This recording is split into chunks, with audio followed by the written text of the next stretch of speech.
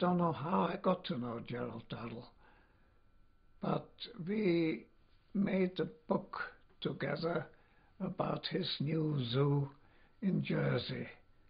It was then just a plain zoo.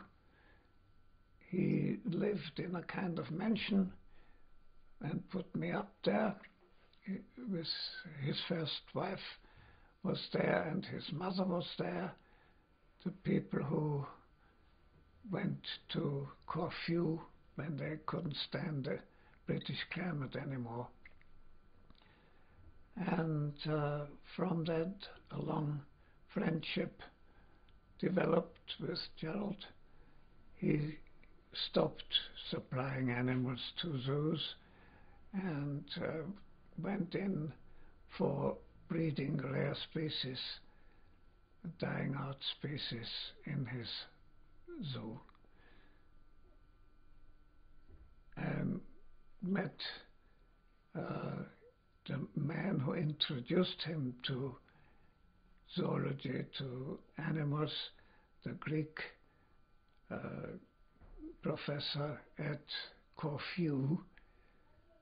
And uh, one day, Gerry gave a luncheon in in Charlotte Street, about a dozen people, and this man had come over, this uh, old man, then to be at this luncheon, which was very nice to meet him.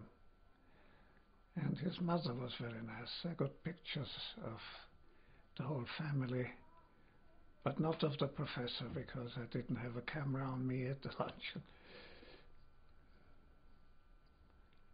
And when Gerald Durrell died, there was a memorial meeting at the Natural History Museum, and two 2,000 people turned up.